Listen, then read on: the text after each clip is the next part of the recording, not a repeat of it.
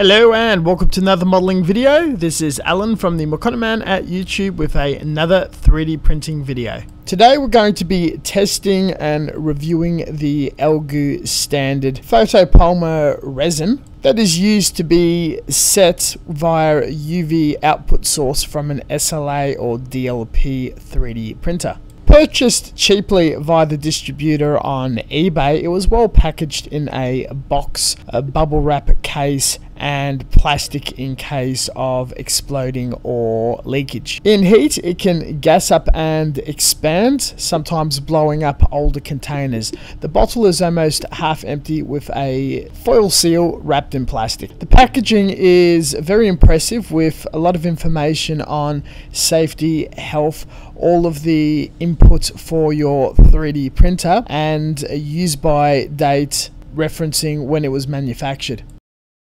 The machine I'm operating is an older 2K Anycubic Mono X larger 3D printer with an aftermarket screen protector and heat band. Gave the resin a thorough shake and poured it out. Good flow, opaque pigment, smooth and free of debris. Cautionary note as usual, does give off fumes, using ventilated area, wear gloves when handling the resin itself.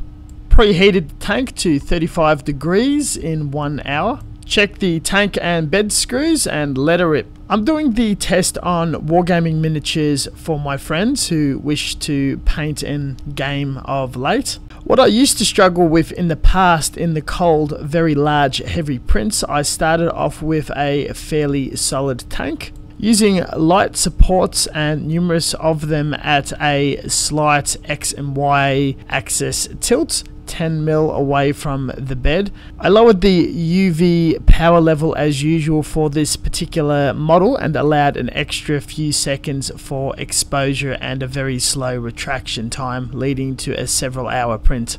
This resin has come recommended to me by a professional commission modeler and kit developer. The brand of Elegoo printers are also comes highly recommended with a decent amount of popularity and use across its domestic consumer printers, which I wish to move on to the Jupiter sometime in the future.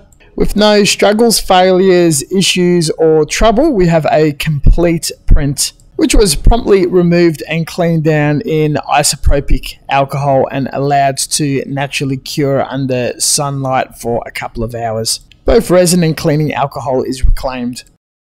The model came out very crisp, sharp details, soft walls, and the z-axis lines are not overly noticeable. Um, also on the top, nothing a coat of primer or paint will fix. Larger models risk splitting or falling off the supports or the supports not producing.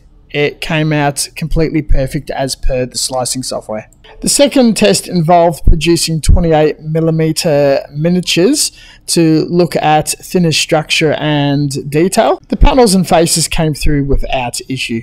In conclusion, this is a fairly decent resin. The only thing I can lean on is Anycubic, which I've used for a long time and used to be all that was available, and I would happy to integrate between either or, depending on what is cheaper. Thank you very much for watching, and as always, until next time, stay tuned for further content, and we'll catch you guys later. See ya.